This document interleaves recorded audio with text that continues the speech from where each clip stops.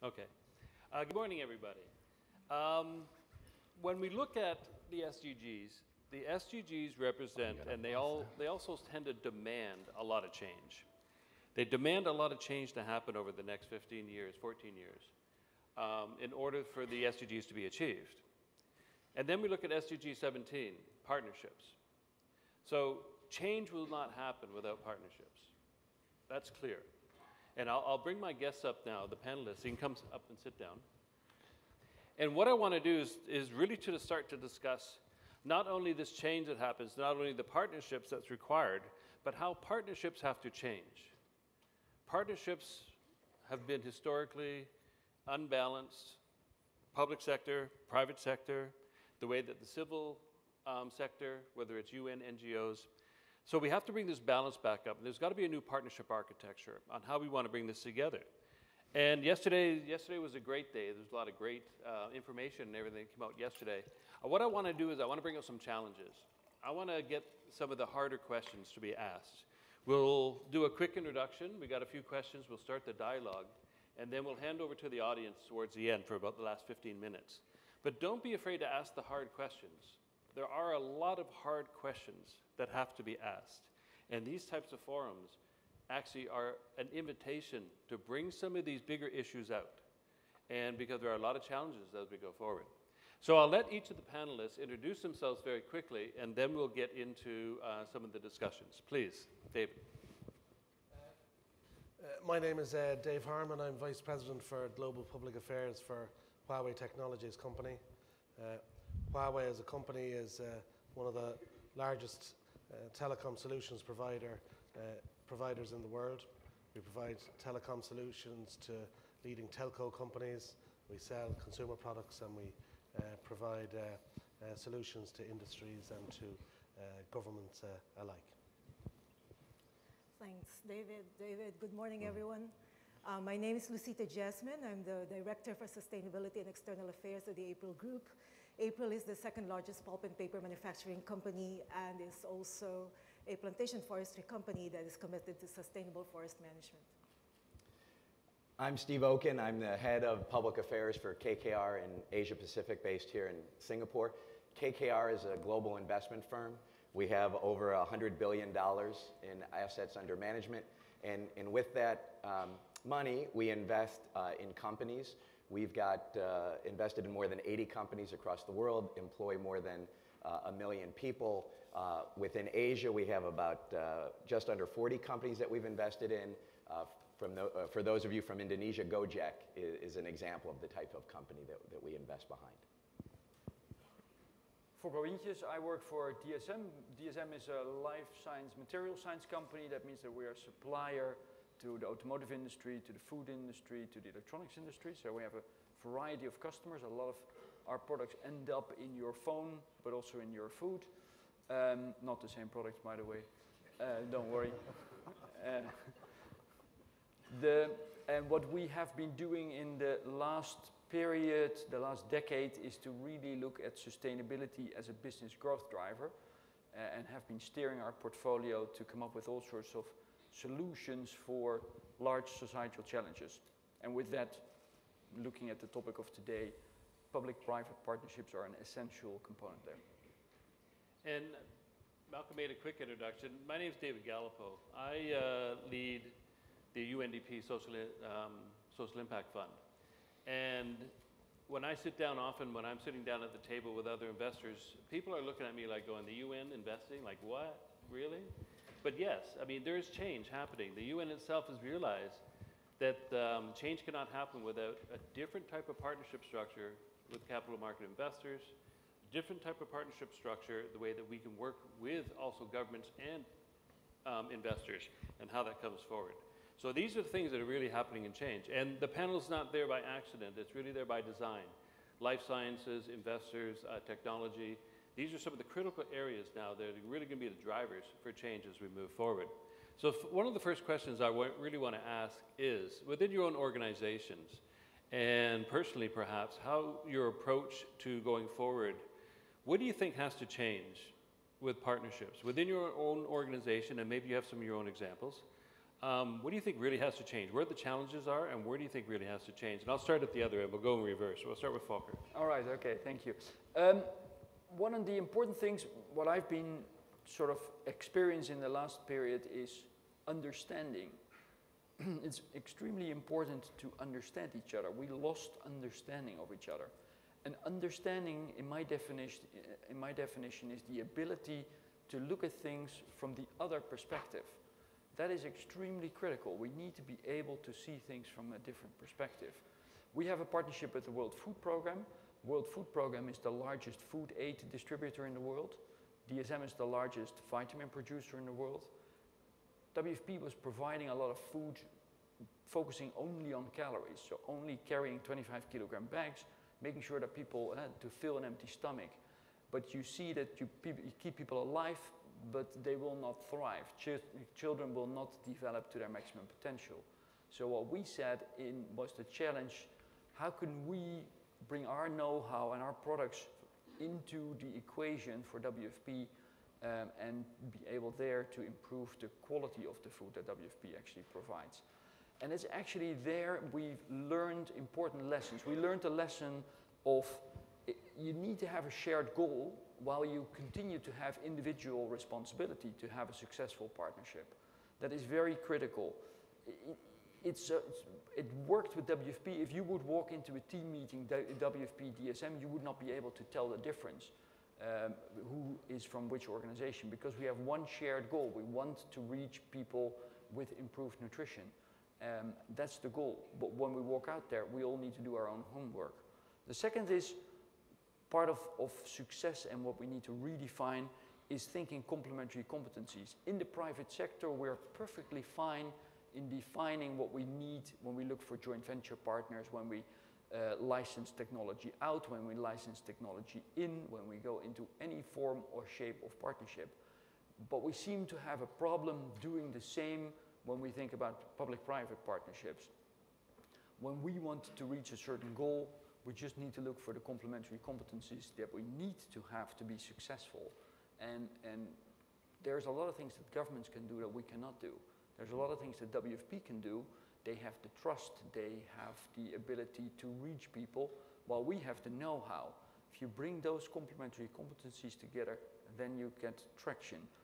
And the third success item for me is it needs to be truly relevant what you're doing. I see organizations embarking on projects, embarking on partnerships where it is a nice to have, or it is very much around an, a PR or a PA perspective, a public, uh, uh, it's very much around um, how can I short term boost my reputation rather than it makes long term business sense. For us as a company, it makes sense to work on nutrition because in the end it creates a market it creates endorsement. If WFP said it, says that a solution is good, then of course it's much carries much more credit than if we would say nutrition is important for you. If I say that, then obviously people will say, yeah, but it's your business. If WFP says it, that carries an endorsement which we cannot have. So I think that sort of um, it needs to be truly relevant for the company is an important one. And, and the final thing, and that's also I think one of the challenges and so far, we have not seen major accidents, but I would urge everybody, both on the public as well as on the private side, is to focus on due diligence. Really investigate upfront who are you teaming up with. It is important for credibility. It's also important for success to do a very thorough due diligence before you engage in partnerships. So due diligence, risk mitigation, understanding risk appetites and these types of things. But that's where the challenge comes in because often the languages don't balance. People have different perceptions of what risk is, and it's interesting. And as uh, we'll, go on to Steve now from the investment side and everything else, I'm sure that's a part of that too. Steve, please. Yeah, uh, so core to, to KKR as an investor is ESG. Right? So ESG is environmental social governance. Every business in the world, every organization in the world has, has ESG uh, impacts. You know, how do you uh, manufacture goods? What uh, type of emissions do you exist? That would fit in the E bucket. How do you treat your workers? How do you treat the communities in which you live? That fits into that S or, or social bucket. And then G on governance is, you know, how is your company run? Is it transparent? And so understanding ESG And as an investor looking at ESG, both in the pre-investment phase, when you do your due diligence, and looking at ESG from a risk and an opportunity perspective is, is critical, and we do that. And then, how do you work with companies in the post-investment phase, um, after we've invested in the companies and we partner with them to make them more sustainable from both uh, an ESG perspective and a profit perspective. Because if you're going to really change the world from a business perspective and make a difference, you're going to do so at a profit. If you're not in business and making a profit, it's not going to work. So the, the question is how do you integrate both? How do you make companies more profitable and more sustainable at the same time? And the way to do that is to have a better understanding of the world. There are so many changes going on in the world right now. Um, you know, in economics, you often talk about, you know, bear markets and, and bull markets. Are the markets going down or are the markets going up? Well, in, in politics today, and, and for the past few years and for the foreseeable future, we only have a bull market in politics. You just have to look at, at the recent elections in the UK and the US and in the Philippines to see that, that things are changing all the time. And there's so many dynamics changing with them. It, it's because of environmental concerns, it's because of what's happening with demographic challenges. It's, what's be, it's because of what's happening with a 24 7 news cycle and social media. All of those things are changing. And for us to be investors, to be the best investors, to make a profit, we have to understand the world better. And we use partnerships to help us do that. And this is where partnerships come into play. So we have a, a long-standing partnership with the Environmental Defense Fund. And we work with EDF to figure out how can we make our companies more sustainable. So they teach us and through their teaching us, we can apply that to our portfolio companies. We work with BSR, Business for Social Responsibility.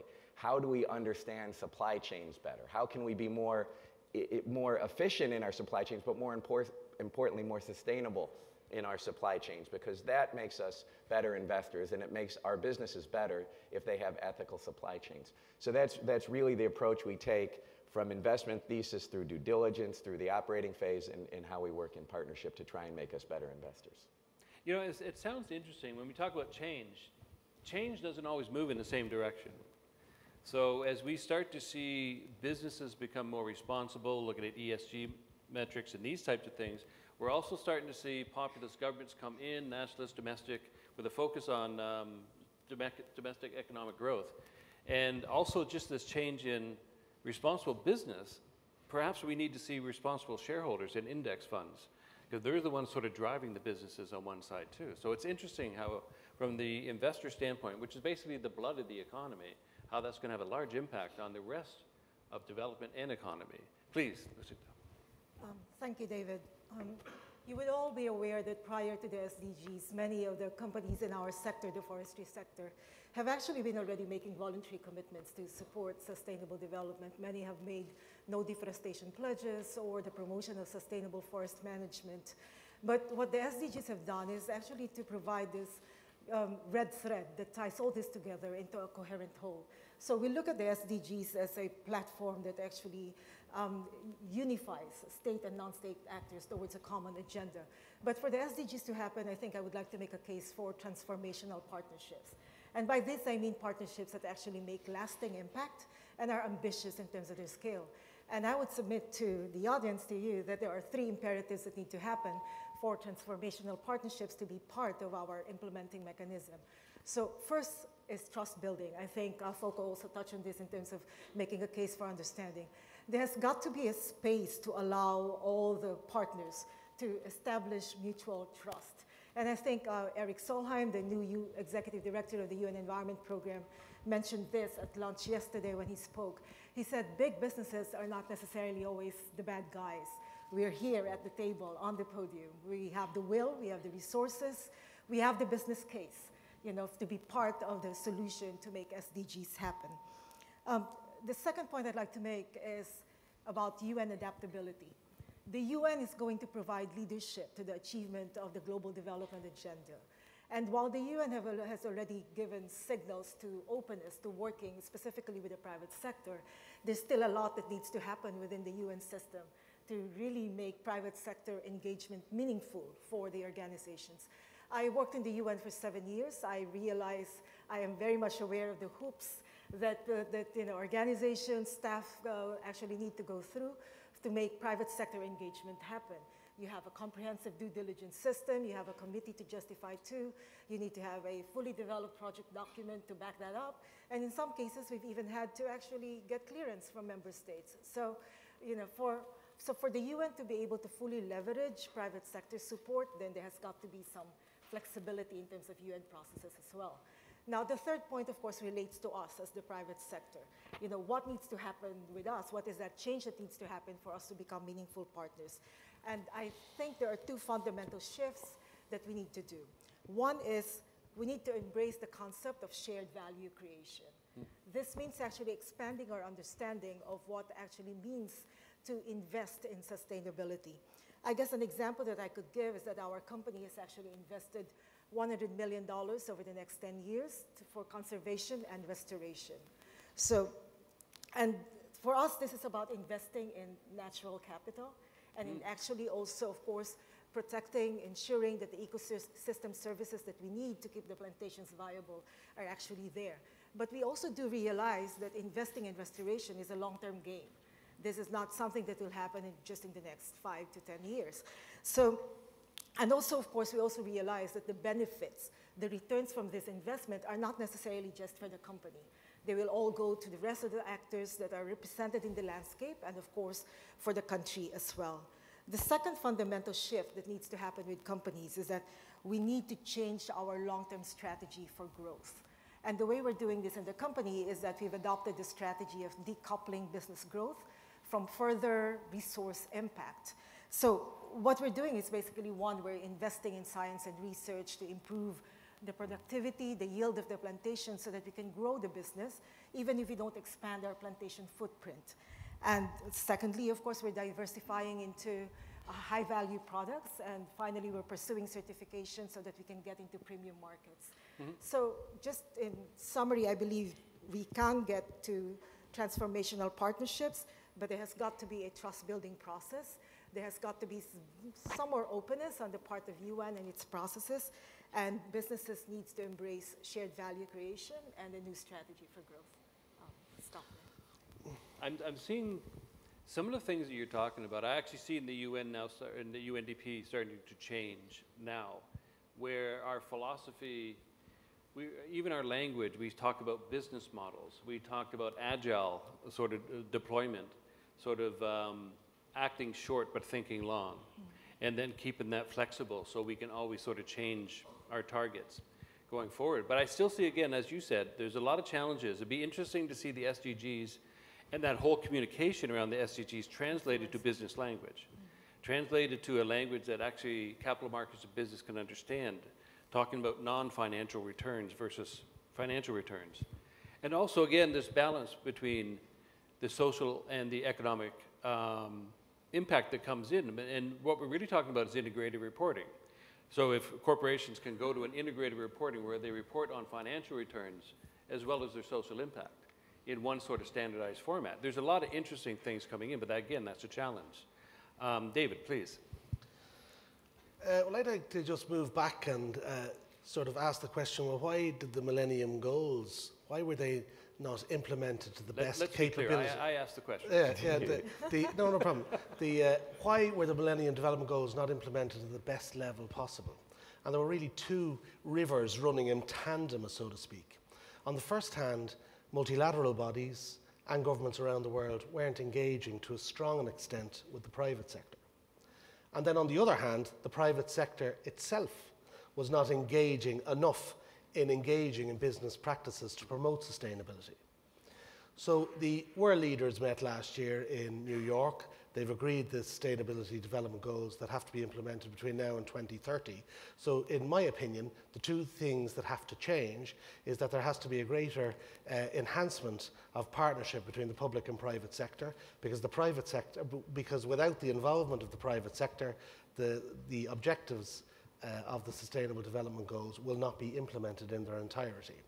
And secondly, the private sector must uh, uh, have, uh, must come to a greater realization, some companies are already engaged in this, that there is excellent business opportunity from engaging in sustainability. Uh, that, uh, that new business and economic models can grow from this. Uh, in Huawei myself, I deal with international political relations and I've had extensive dealing with multilateral bodies in the last year. And uh, a number of international bodies are putting in place new programs to engage the private sector. The United Nations is there, the World Bank has a new program involved, engaged the private sector, the European Commission, the African Union, the United Nations Commission for Science and Technology, uh, the ASEAN Commission. In fact, uh, yesterday I had a meeting in APEC.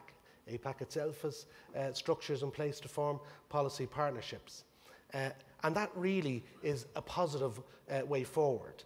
Um, in fact, uh, I was interested with the uh, slogan of, uh, on, the, uh, on the advert uh, behind where it referred to the words innovation and collaboration, because in fact those two words really are vital components to implementing these strategies. Um, innovation doesn't stop at any one defined geographical border. So if you want to innovate and bring new products and services and solutions to the marketplace, uh, you have to collaborate with the best talent where that talent lies. And if you want to tackle key societal problems, whether in the transport or energy or health or social services arena, you have to collaborate and innovate uh, to the best talent possible. Uh, Huawei itself, the company I work with, we do employ uh, 80,000 uh, researchers and scientists. So we are innovating at a, at a high pace. Our chairperson, Madam Sun, is a member of the United Nations Commission uh, to deliver broadband for all. So we are working carefully uh, with uh, other partners from the uh, intergovernmental and research and educational communities. Because the challenge is very real. Uh, according to the United Nations last year, 4.4 billion people in the world still do not have access to high-speed communications, access to broadband. And this is just simply unacceptable. Uh, the digital divide exists in all countries in the world, but sadly exists in more countries to a greater extent than others. So Huawei, in partnership with many other companies and public sector organisations, are bringing forward new solutions, particularly in the field of wireless technology, to help bridge this divide. And we should recall that in 1950 there were only 3 billion people living in the world today, are living in the world at that time. There are 7 billion people living in the world today in another 30, 35, 40 years' time, going to be 9 billion people living in the world today. So uh, uh, we have to ensure that this digital divide is arrested and corrected uh, and it's not widened in any shape or form. Thanks, David. I'll touch, I'll touch on your first point. From the MDGs, there are a lot of lessons learned. I see reports coming out all the time. The question is, are we learning the lessons? Are we actually learning the lessons and changing internal processes? Are we actually changing our approach um, to how we want to go forward? And that's a key question that I'll come back to each of you individually on. But also the other part where there is a lot of innovation in the world. It's sort of not distributed properly. And one of the main challenges that I'm seeing is that policy is just lagging behind the way that the advances of technology. Science and technology is moving at such a fast pace that policy can't keep up, legislation cannot keep up. And I don't want to say regulation, but certain forms of control just cannot keep up. Privacy comes to, to point on that.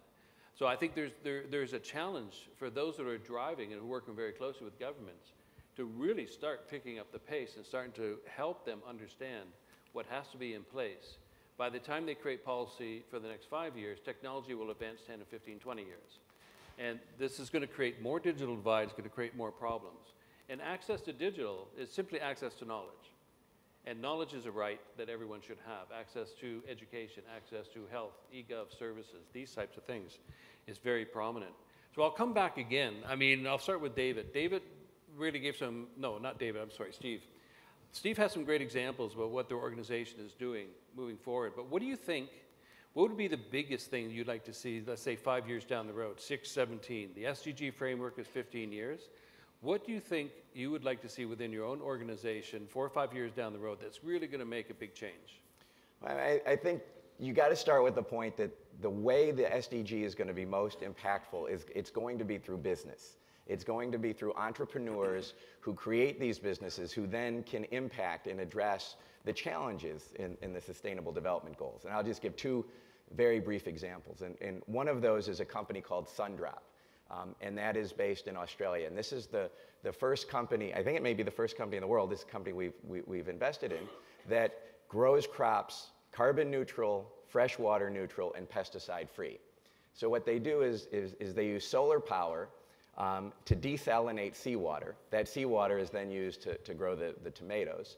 Um, the solar power powers the greenhouses, in this case glass houses, um, so you have no carbon emissions. And they're now growing 15,000 tons of tomatoes a year. So about 15% of all of the, the tomatoes, or the tomatoes off the vine, are going to be produced by Sundrop in, in Port Augusta in South Australia. And, and this came about because you had an entrepreneur who came up with the idea. You had an innovative government in the government of South Australia who, who set up the framework so that he could get started down there because you have, this is a greenfield investment. So you have to start with a test facility. And to do that, you're going to need some government support. When you get there, then you can get an investor like KKR who can come in and bring in the capital so that you can then build a facility that will grow the, the tomatoes that Sundrop's going to grow. So it, it's, it's, it's recognizing and supporting those entrepreneurs and then having an investor like KKR be able to come behind them. But we've got to wait till they get beyond that proof of concept mm-hmm. stage. Then there, there's a, a, CEO of a company in Indonesia here, Aaron Fishman, who, who's the CEO of East Bali Cashews, who recognized a huge challenge in, in eastern Bali, which is that you had a lot of agriculture there, but none of the processing took place. It all took place overseas. So he was able to start a business with $180,000 um, to get a cashew processing facility, the first one in eastern Bali there. He now employs over 400 uh, women who've never had jobs before. Um, he's a very profitable business, and now he's starting to attract the type of, of support that government's bringing.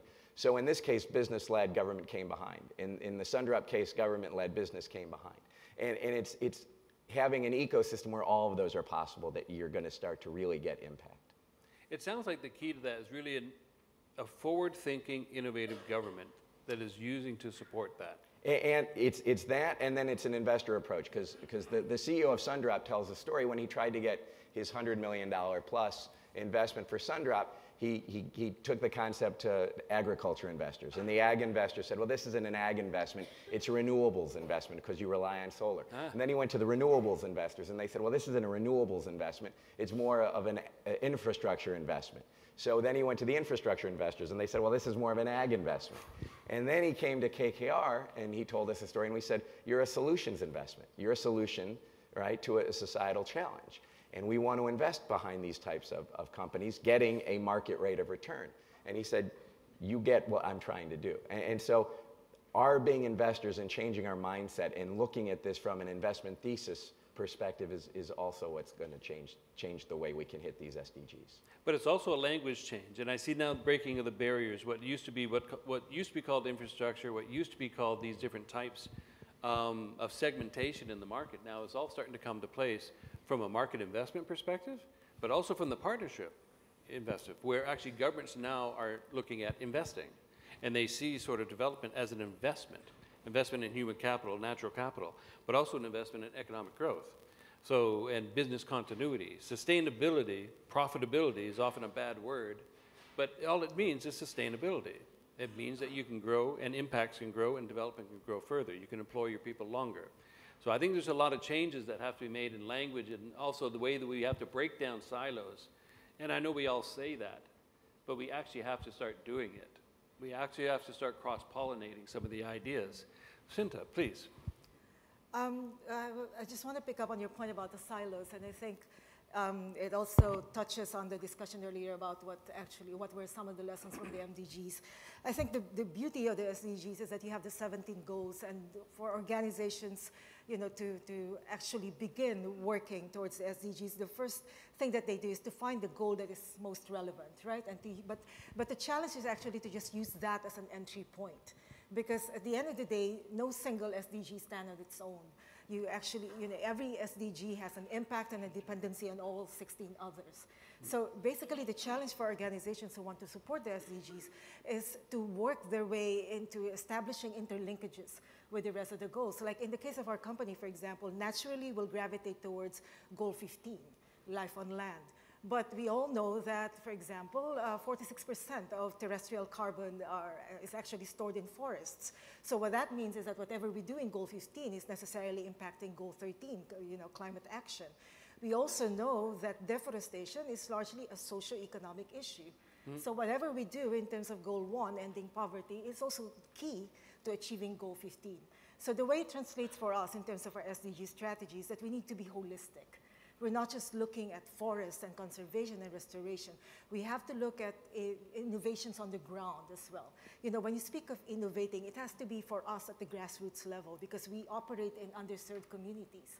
So for us, for example, to stop deforestation, it's about providing livelihood uh, opportunities, alternative economic uh, opportunities for the people at the local level or providing opportunities to burning so that they don't burn and or continue to encroach the natural forest. So I think the, the, the key lesson is actually also to have that holistic approach and to understand that you know every goal or every aspect of this intersects and impacts the other.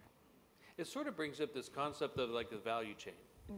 which used to be sort of supply and distribution of these, but now this value chain, if, if I would ask everyone in the, uh, if there's 500 people in the audience and I asked you to get in your silos, there would be 500 silos. I mean, it, it 5,000 comes down to that granularity because everybody has a day job. Everyone's got something to do. But if you start to think of what happens before things come to you or what happens when things after what comes to you, it's the same with investing. You invest up and down the supply chains. The same when you talk about technology. So I think it's something that we, we, we're going to have to start looking at, broadening our own perspectives. Because, because, change happens at a personal level. You can drive change from organization, you can drive change through financial flows, but really people have to change. And uh, as we get into that, please, David. Indeed, people have to change, but I mean, a key element in that process of change is to ensure that strong political leadership is maintained uh, now and in the years ahead in selling the importance of implementing the Sustainable Development Goals. Uh, the world leaders went to New York last year and agreed these important objectives. Now it is incumbent upon these world leaders to maintain the momentum that has now commenced to implement the objectives of these goals, and this will be a very important uh, objective of the new uh, Secretary General of the United Nations, Guterres, uh, when he uh, assumes office in the early part of uh, next year. Uh, the reality is that uh, to implement the Sustainable Development Goals is going to involve a stronger partnership between the public and private sector. So the private sector, the public sector has to engage to a stronger extent with the private sector, but equally the private sector has to engage to a stronger extent with the public sector. Uh, uh, uh, some of the finalist officials in the world are working in public organisations, and it's to bring the best practices and best ideas from both the public and the private sector together. And it's then translating and selling those best practices uh, around the world to, uh, to other governments, to other multilateral bodies, to individual companies, to research organisations, and of course to individuals uh, themselves. Uh, but one shouldn't underestimate the importance of investing in research, science, and innovation in this process. Uh, if one looks at metrics uh, in terms of how countries are supporting these policies, countries that are investing more heavily in research, innovation, and science um, are producing stronger economic returns. Uh, research and science is no longer part of a policy connected to the ICT, information communications technology world. ICT now transcends uh, all key governmental sectors, whether in the field of energy or transport or uh, health.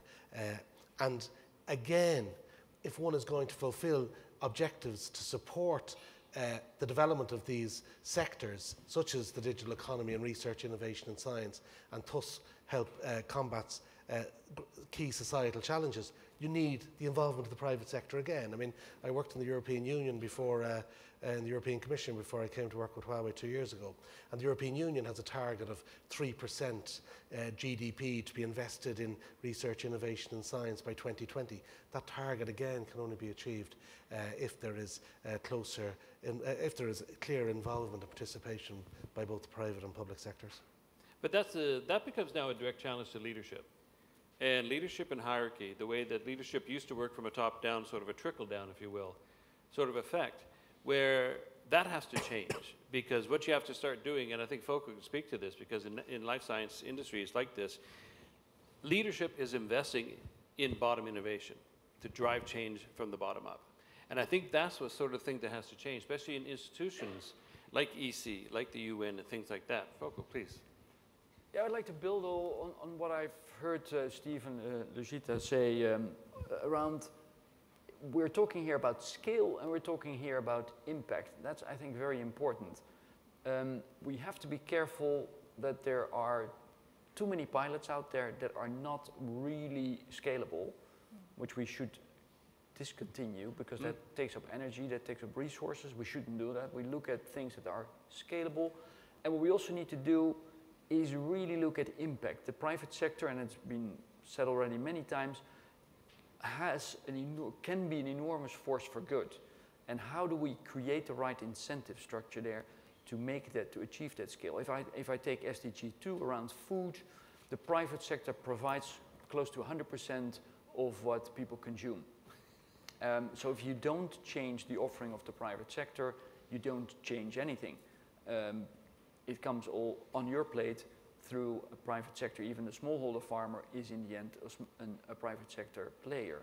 So what we need to do is to really look into how do we reach that scale and building it indeed bottom up, but also using different means. We see, and, and that's a great step forward, all forms of blended finance. We have made an investment in Africa, in, in Rwanda, where we are building a factory and we're opening next week, actually, um, uh, where we are building a factory that will produce fortified porridge for young children to make sure that kids get the right food when they grow up because that will determine in the end their, the rest of their life. That will make, that, that will, that's the difference between stunted for the rest of your life or having a normal development at, early at an early age. Making that investment, we work there with the government of Rwanda, with donor uh, governments, with um, uh, IFC, CDC, FMO, development banks, and all together we can create, and together with the World Food Programme as, as one of the customers, all together we can create a different way of doing business and achieving big impact. We create uh, uh, stable incomes for 9,000 farmers. We um, reach 1 million children with improved nutrition, um, so change the lives of 1 million children. And we create four, 500 high uh, quality jobs in Rwanda, which in a country like Rwanda is, is a significant amount. So that's the sort of thing by collaborating public-private, by overcoming the hurdles, um, by helping to de-risk, it was able, we were able to invest, and the de-risking came here from governments and from the UN, all together creating a system that can be a force for good. And I think that is what we need to do. Um, SDG 17, it's the wrong thing to say that partnerships are a goal because partnerships are obviously a means and not a goal in itself. But um, uh, SDG 17 is really to stimulate that sort of creativity and innovation, not only tech innovation is important, but business model innovation. That will help us to come to the next level and that will help to bring things to scale. And financial innovation. Blended finance, very, very dear to my heart. Um, but blended financing, and uh, as we saw yesterday, one of the outcomes is the creation um, of, the, of the collective that we put together, the Social Finance Collective in Asia, which actually brings together a bank, a development bank, a UN organization, um, and a commercial bank together to sort of do that dialogue. And it sort of creates the enabling space for that dialogue to happen, where traditional funders, new capital markets can look at financial innovation to really invest in new types of technology and innovation. Absolutely, and I think there there's an overrating of we need X trillion, uh, and there's a big scare, the SDGs will be way too expensive. If we all start investing differently by blended finance uh, mechanisms, then the amount of money is not the issue. I'm not that concerned about raising that capital. It will be to drive the economy in a different direction, to make it really a people, planet, profit approach of the economy. And then that way we will get the capital there. I'm not that concerned about that. Mm -hmm. Then the supply and pipeline, that's, that becomes the interesting stuff. So yeah. investable projects. Yeah. I'm going to do a time check because no one's checking me on time and I've And Malcolm said I could actually speak all the way to noon. Um, so we have five more um, minutes, I think. Do we have time for Q&A? Okay, then there's some interesting things coming out. There's some positive and there are some challenges coming out. But I'll challenge the audience to come up with some questions. Challenge, here's your chance to ask the tough questions. Whether it comes to the UN, whether it comes to the different sectors and that, ask the tough questions because here's the sort of the forum where you can do that type of stuff. And I don't know who's managing the floor. I see a lot of hands. Okay, questions just went up to $5 a question. Please. I don't know who's got the mics there. Hi everyone, I'm Jackie from Ipoh, Malaysia. Uh, build, I'm building up an energy company uh, serving the bottom of the pyramid and operating in the Philippines. Uh, as you, we all know, uh, after political change in the UK, followed by the Philippines, and uh, the change in the US president administration imposed a concern uh, to Tesla Motor and SolarCity because of the eliminations and reductions of the solar investment tax credit. And from the investment point of view, um, how does that translate into your due diligence approach and the attractiveness of the companies within those countries? Thank you very much. So basically, how, how are you leveraging political disruption to actually make positive change? Anyone want to take this? I'll take one question at a time. I mean, I mean it, what we try and do as, a global investor is to look at all of those factors at once. And, and, and you do that both in the investment thesis part and the, and the due diligence phase. So in an investment thesis part, if there's a, a, a if, if, if, if Brexit is to occur, right, it hasn't occurred yet, but if Brexit is to occur, then what is that going to mean in terms of, of, of travel? What's it going to mean in terms of financial services? What's it going to mean in terms of, of immigration? And so that will, so you want to take that into account. And so when we look at investing, we, we take four approaches. We look at the company level, we look at, at the macro level from an, a macroeconomic perspective. We look at it from a political perspective, and then we look at it from a country risk perspective. And, and right now, we're certainly looking at everything differently than we would have looked at it a year ago, but nobody knows what, what's going what's gonna come in, in the next year or two. So it's certainly, that uncertainty is something that does impact how we think before we're going to make our investment. So scenarios, be agile, scenarios. I see you over there. Yeah, you. Mm-hmm. Mic people.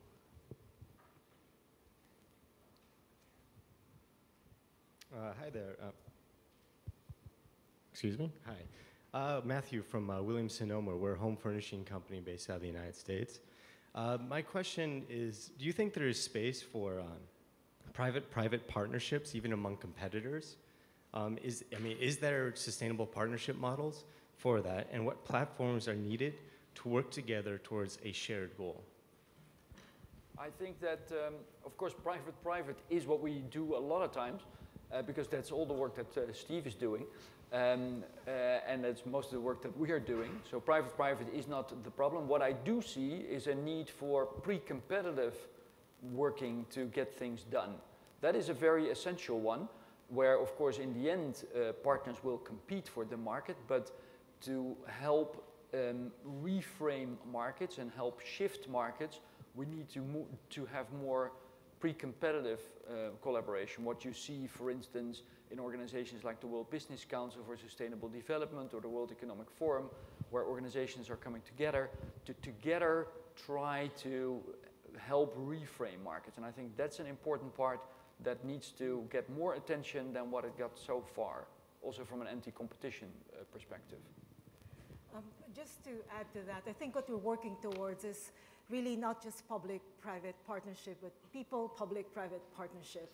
You know, we in the in the context where we operate, we actually operate in the rural communities. So the partnerships that need to happen do not just involve the, the, the bigger public sector representatives, but we need to work with the local communities. And so these are the types of partnerships that actually we feel have an impact on the ground because you actually see the changes that are happening. An example of this is the Fire Free Village program that we have. We're working with the communities to, um, uh, towards, uh, well, towards fire prevention through community engagement. So we actually work with the villages themselves, and then of course we get the governments. And this time, if you're saying, you know, what about the competitors? Yes, when, with the model that we have, when we found out that it was successful, we actually offered it to the rest of the companies in the forestry and agricultural sector, and this has emerged into a fire-free alliance. So they have adopted that model, and now they're trying to also see mm-hmm. whether it's going to work in their operations. So we have companies like Wilmar, Musim Mas, Sime Darby, who are actually signed on. So yes, there is that, um, there is, uh, I guess, a, a, certain form of coalition of the willing that happens also even among competitors, and at the same time, the inclusion of other parties aside from just the government or, you know, or the private sector. And I'm just, I'm going to come back to Sundrop because here, that's a, it's a great example of, a, of three partnerships among businesses. So KKR partners with Sundrop, but Sundrop can only exist because of its partnership with Coles, which is, which is one of the largest you know, supermarket chains in Australia. So Coles enters a partnership with Sundrop and they say, we're going to buy 100% of, of the tomatoes you produce. We're going to have a, uh, an offtake agreement for everything that you, you produce because that is, gonna, that is what's going to drive KKR to invest in, in Sundrop. And then when Sundrop has that partnership with Coles, Coles can then show how it's supporting sustainability, how it's offering you know, the most sustainable produce possible. So it's a win for Coles, it's a win for Sundrop, and then it's a win for KKR. And so it's these three types of businesses coming together in these types of partnerships that can really fuel a lot of, a lot of growth and, and social impact. Yeah, in fact, uh, just one brief point. Uh, Huawei as a company, we operate a number of uh, solar and photovoltaic and recycling centres.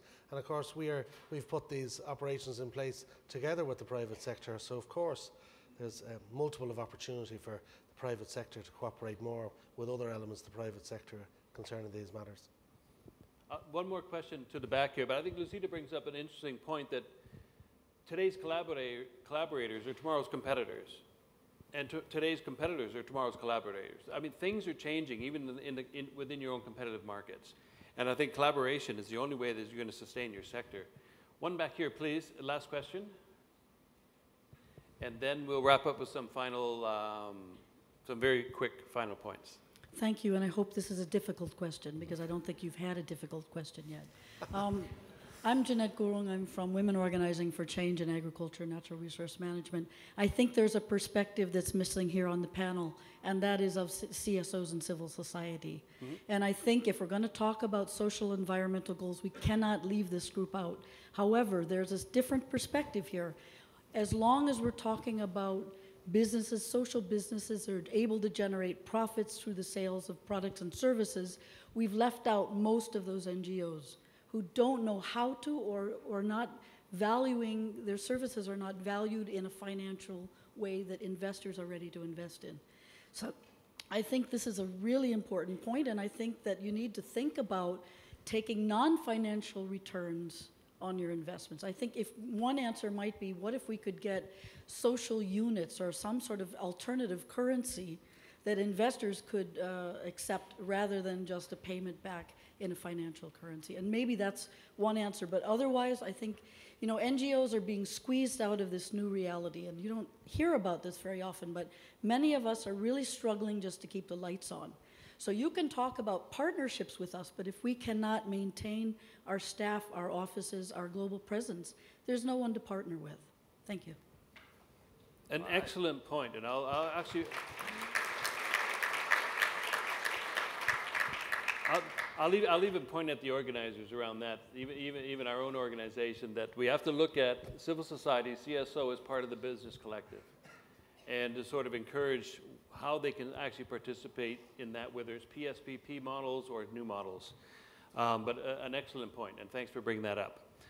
We're running out of time, so I'm going to give everyone sort of one minute as a closing thing. What's the big thing, the big change, five years down the road, 10 years down the road? What would you like to see happen um, in this space over the next you know, five, 10 years? What's the one big thing? And then we'll close. Please, from this side. Well, to implement the SDGs, the key thing is to increase investment in people. And in increasing investment in people, you have to give more educational opportunity. Uh, I mean, give a man a fish, you can feed him for a day. Teach him to fish, you can feed him for life. Human capital, exactly. Uh, for us, it's, uh, the, the, one thing that's not been mentioned is basically policy coherence, especially at the national level. And of course, a balance between regulatory action and incentives uh, for business. Whatever we're doing right now does not necessarily have to be seen in a punitive context. This is something that is forward looking, and as we said, we're here, we have the will, we have the commitment, we have the business case, and we are ready to act and innovate in support of the SDGs. Please, Steve. In terms of partnerships, it's, it's coming up with uncommon partnerships, un, unthinkable partnerships, because it's, it's those partnerships that are often the most powerful. Uh, if you go back, you know, 10, 20 years, you'd have never thought that a private equity firm would partner with the, the Environmental Defense Fund. But that has been an incredibly powerful partnership for both us and for EDF. So what type of partnerships we're trying to think are we not thinking about today that we could implement tomorrow that's going to make us a better investor and that's going to make the NGO or whoever we partner with in civil society more powerful as well? Yeah, for me, it's, it's all about getting the consumer and the citizen on board. I mean, we've seen the elections in the last period and we forgot about a couple of people. Hmm. And it's extremely critical that we get them on board. The consumer needs to come on board because otherwise we do not get a sustainable change in the offering. So that's an important one. But unfortunately, the consumer and the citizen are not the same. So you can ask the citizens uh, what they really want, and then you see you get a lot of answers about green and health, and then we see at the breakfast table piles of calories uh, uh, lined up, um, mm -hmm. forgetting about all sorts of uh, uh, the nutritional side. So for me, it's very much about consumer, citizen, so that comes back to also what David said, people are core. We've been trusting a lot on technology breakthroughs, but we forgot about the people aspects. And I'll just echo two points. I think it's a citizen's first approach as opposed to a consumer first approach. A citizen's first approach to investing, to planning, to legislation, to policy, I think will make a huge, huge difference. And also the concept of coherence at the national level. I find it's often easier to work at subnational level, municipal, provincial, city level, for some reason, than it is to work at national level. So I think that has to work together somehow. Um, I want to thank uh, everyone on the panel. I want to thank your questions. I hope you uh, maintain the challenging questions all day long keep the people on the panel, keep them in check, um, fact check them, and uh, a big round of applause, please, for the panel.